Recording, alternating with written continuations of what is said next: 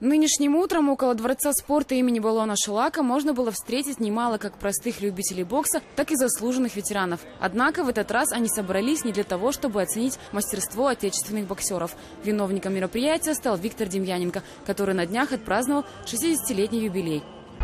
Планировалась так вот встреча наших э, ветеранов, вспомнить, кто ушел. Э, Сейчас три поколения боксеров собралось здесь в советские времена. Затем наше становление, когда наши ребята стали проявлять себя. И вот сейчас уже новое поколение, которое растет и э, лидерами стали в сборной в национальной команде.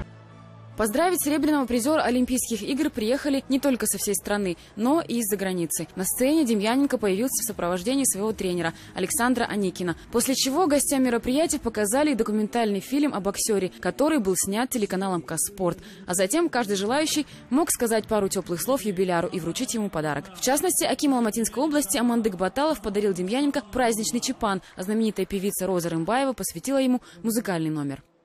Я помню Московские Олимпийские игры, 80-й год, когда Виктор Демьяненко, Серый Хонакбаев выходили на ринг. Я мальчишкой, девятилетним мальчишкой смотрел у телевизора, хотел быть похожим на Виктор Демьяненко, хотел похожим быть на Серых Хонакбаева. Это они нашего поколения кумиры. Мы хотели равняться на них, стать чемпионом, прославить, э, как говорится, страну. И мы пришли в бокс. В числе прочих к поздравлениям присоединились как прославленные казахстанские боксеры прошлых лет, так и нынешние звезды ринга. Участники мероприятия вспоминали истории своей жизни, которые были связаны с Виктором Демьяненко. Ермахан Ибраимов даже попытался исправить небольшую историческую несправедливость, когда на Московской Олимпиаде Виктор Леонидович довольствовался лишь серебряной наградой. Завершилась официальная церемония традиционным фото с участием всех гостей мероприятия и, конечно, его главным героем.